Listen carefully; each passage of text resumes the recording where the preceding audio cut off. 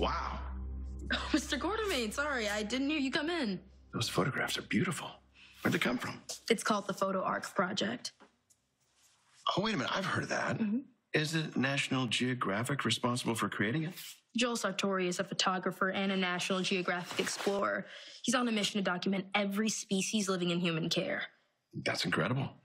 So, how many species has he already documented? He just reached 12,000.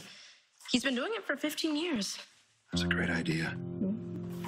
I'd imagine a lot of these species are endangered. I'm afraid so. But I know you didn't come to hear me gush about the photo ark. How can I help you? Well, I am uh, looking for a last minute gift for Olivia. Did you forget Mrs. Quartermaine's birthday? This is more of a gesture of goodwill, I hope.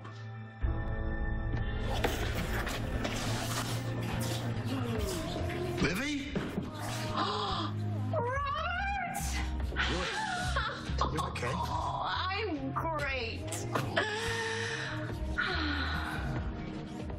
Ah, oh, Robert, I'm so happy to see you. Tell, please, tell me you didn't drive. Oh, I took a car from the Savoy. I know that I left my phone back here and I just came here to find it. And then I was looking at who cares about me? You're here.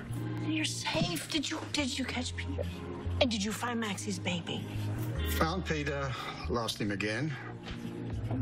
Couldn't find Louise. I'm so sorry. Um, so, tell me about yourself. Leave nothing out. And remember, you don't have to drink yourself sideways to feel good. Robert, it's Ned. We've tried. We've really, we've tried everything.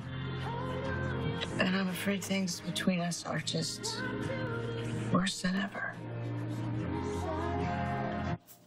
Ned, what a pleasant surprise. Are you in the market for artwork? Mr. Quartermaine is looking for a gift for his wife. You know, I know you can't buy forgiveness. Oh, but you can sure as hell try. have you looked around? Have you seen anything Olivia might like? Has Trina shown you the pieces we have that are available but not displayed? I was actually showing Mr. Quartermaine the Photo Ark Project. The what project? What?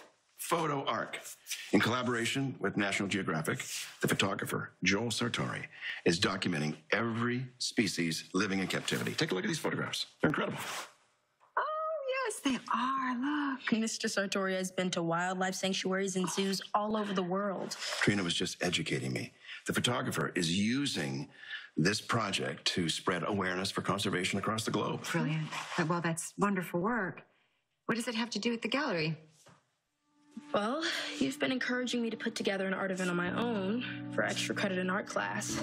What if I organized an exhibit here at the gallery hosting the Photo Ark Project?